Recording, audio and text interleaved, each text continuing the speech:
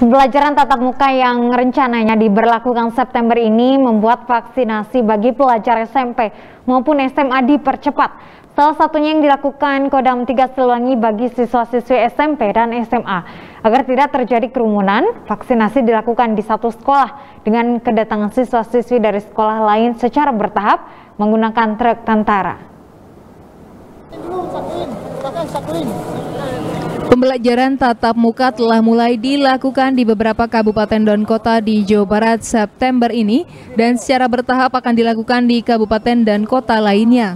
Untuk menjamin keamanan pelajar dari COVID-19, vaksinasi pun dipercepat.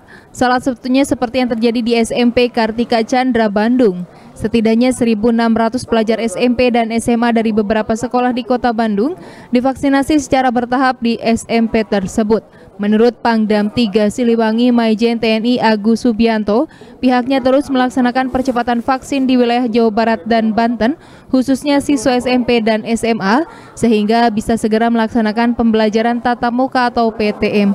Karena ada beberapa sekolah dengan pelaksanaan vaksinasi di satu sekolah, siswa-siswi yang sekolahnya agak jauh diantar jemput dengan menggunakan truk kodam.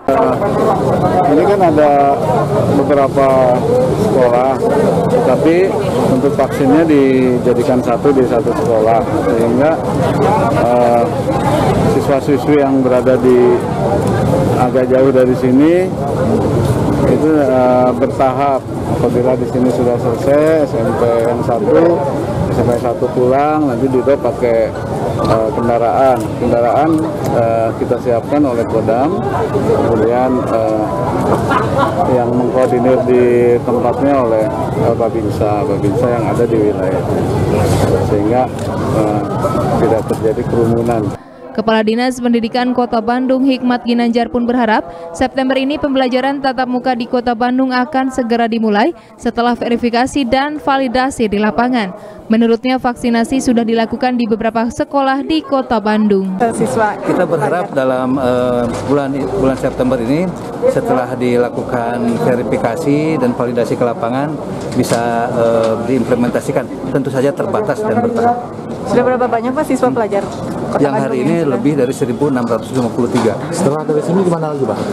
Ini dan jadwalnya uh, Bapak Panglima mungkin uh, yang punya apa jadwal kita dari dari Satuan Pendidikan tentu saja sangat menunggu ya. uh, dalam rangka akselerasi uh, apa warga warga pendidik yang bisa uh, divaksinasi. Kalau sekota Bandung berapa persen yang udah divaksinasi pelajarnya ini Pak? Ini sangat variabel ya, variabel yang informasi saya berapa keling ada beberapa tempat, tapi belum belum seluruhnya bisa divaksinasi. Vaksinasi kali ini menggunakan tenaga kesehatan dari TNI, Universitas, Relawan, dan Mahawarman.